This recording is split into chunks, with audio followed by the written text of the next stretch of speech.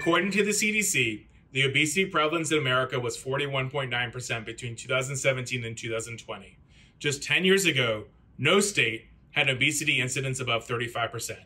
Over the past three years, many patients have gained weight with more sedentary lifestyles due to COVID 19 while staying at home, avoiding the gym due to the potential for respiratory spread, and working remotely. For a long time, patients were avoiding attending social events, so walking much less. Today, gastroenterologists are having an increasing number of patients ask for help with weight loss, so we wanted to provide a helpful guide for both patients and physicians. There are many ways a gastroenterologist can help obese patients with weight loss. I'm Benjamin Levy, a gastroenterologist at the University of Chicago and a member of the American College of Gastroenterology's FDA Related Matters Committee. I like to provide a primer for achievable weight loss. Number one, glucagon like peptide 1 or GLP 1 receptor agonists have become a popular treatment for type 2 diabetes and weight loss. These medications have helped patients achieve weight loss with tremendous success. These weight loss medications are given as an injection either weekly or daily, depending on the type. They work by stimulating the body produce insulin, which in turn lowers blood sugars. GLP 1 receptor agonists also slow peristalsis and the movement of food from the stomach into the small bowel, which allows patients to feel fuller longer and decreases hunger and eat less. There are two FDA approved GLP 1 receptor agonists approved for weight loss in patients without diabetes liraglutide or Saxenda and semaglutide or Wegovy.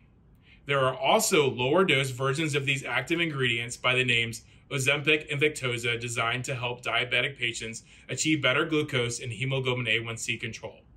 In November 2023, the FDA approved a new medication called Zepbound, which is a GIP glucose dependent insulinotropic polypeptide plus GLP 1 receptor agonist. This is a very exciting time for the management of type 2 diabetes and weight loss. Gastroenterologists can work with endocrinologists and primary care physicians to help patients choose appropriate weight loss medications. Gastroenterologists should also be aware of common GLP 1 receptor agonist side effects, including nausea, vomiting, diarrhea, and in severe cases, hypoglycemia. These medications can also cause pancreatitis, acute kidney injury, and worsening diabetes related retinopathy, tachycardia, headaches, indigestion, gastroparesis, bowel obstruction, or ileus. We don't use these medications in patients with a family or personal history of medullary thyroid cancer or multiple endocrine neoplasia. Consider avoiding using in patients with a personal history of pancreatitis.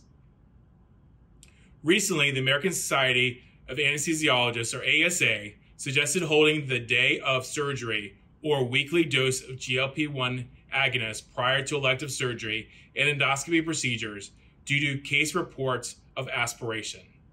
Gastroenterologists and anesthesiologists are working together to make esophagogastroduodenoscopies, otherwise known as EGDs, and colonoscopies as safe as possible. According to the ASA recommendations, GLP 1 agonists that are daily dose are supposed to be held on the day of their procedure. Weekly dose versions are supposed to be held for one week prior to their colonoscopy or EGD. During EGD procedures, I also recommend keeping the head of the bed at a 45 degree angle to help prevent aspiration even further. Gastroenterologists are eagerly awaiting for additional studies to determine whether holding GLP 1 agonists prior to endoscopy is really necessary. But for now, we recommend following the ASA guidelines. Gastroenterologists and primary care physicians constantly advise our patients to avoid consuming sugary drinks such as soda, fruit juices, calorie laden coffee drinks, sweetened tea, hot chocolate, and of course, alcohol. Many of our patients drink three to six of these sugary drinks a day. As a gastroenterologist, it's important to counsel our overweight patients and obtain an accurate history about their daily and weekly consumption of excess calories. Recommend substituting sugary drinks with water, unsweetened tea, either hot or cold, and coffee. In order to prevent constipation, encourage patients to drink at least 8 8 ounce glasses of fluid per day. Drinking water, tea, and coffee can also help keep patients feeling fuller longer and avoid those tempting snacks. Every day, I encourage my patients to avoid eating fried, fatty foods, and processed meats. This also helps prevent colon cancer. We also advise patients to avoid junk food full of carbohydrates and salt. Instead, patients should try to eat a piece of fruit or a vegetable with every meal, every single meal, which keeps patients feeling fuller longer, prevents diverticula from forming, and can even help prevent colon cancer.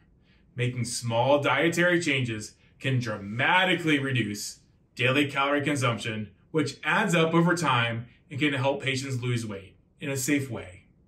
Meal prepping for the week, like on a Sunday, is a very simple way to eat more nutritious foods instead of constantly getting takeout and fast food. Many of our patients have also successfully lost weight through intermittent fasting. We recommend working with a nutritionist on this one. A Mediterranean diet is also a great way to go. I encourage patients to take daily walks, swim, play sports, take fitness classes, perform yoga or Pilates, and use weights at a gym.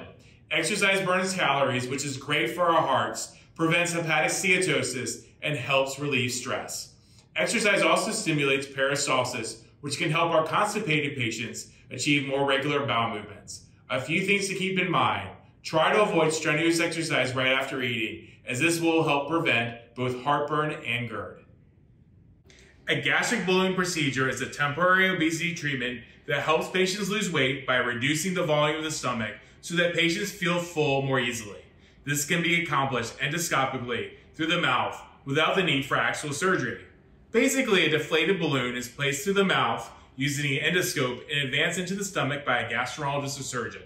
The balloon is inflated with salt water and can remain in the stomach for six months before it is removed.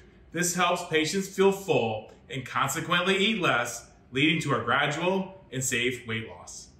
There's also an endoscopic sleeve gastroplasty procedure, sometimes called an Accordion procedure, where the EGD tube is equipped with small stitching instruments that are used to reduce the size of the stomach.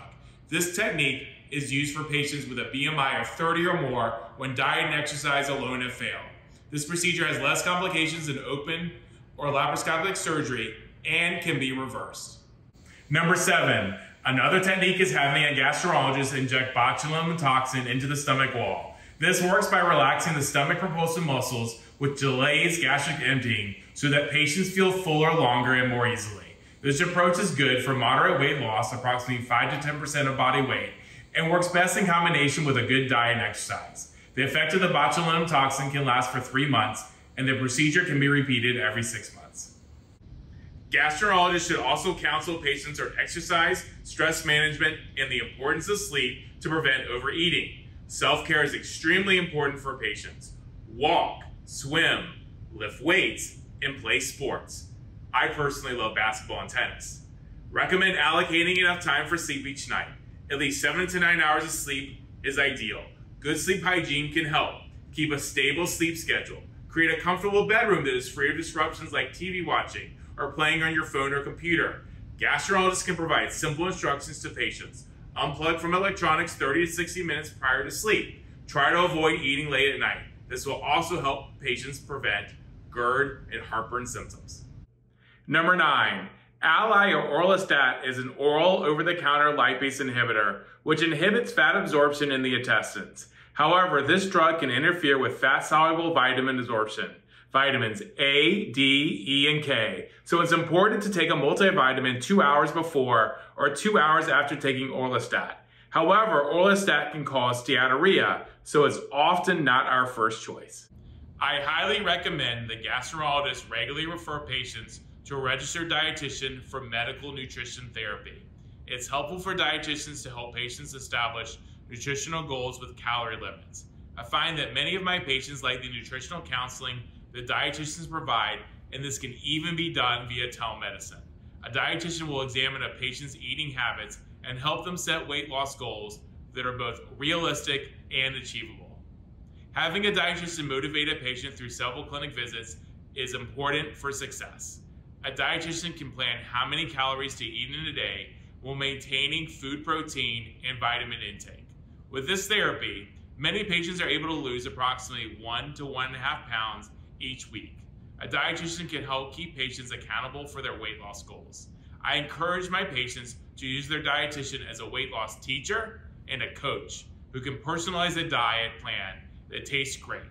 Some of our patients also have overlapping GI issues, such as celiac disease or IBS, so dietitians can also formulate diets that are great for these other diagnoses too. There are also apps available on our phones to help with diet and weight loss. It's important for gastrologists to work with patients to achieve weight loss. Addressing obesity is sometimes a difficult topic to bring up with patients, but very important. Together, we can help treat obesity, plus improve and prevent hepatic steatosis, metabolic dysfunction associated steatotic liver disease, or MASLD, and metabolic dysfunction associated steatohepatitis, or MASH. The estimated global prevalence of MASLD is 32% in adults, so gastroenterologists and hepatologists are working together to try to treat obesity and to prevent long-term liver disease.